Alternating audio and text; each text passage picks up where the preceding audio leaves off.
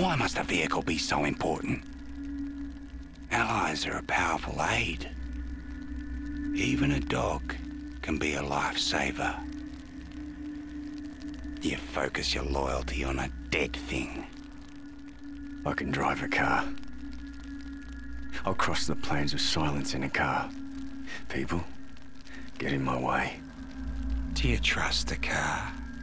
More than any man. We have a long way to walk. Let's look deeper.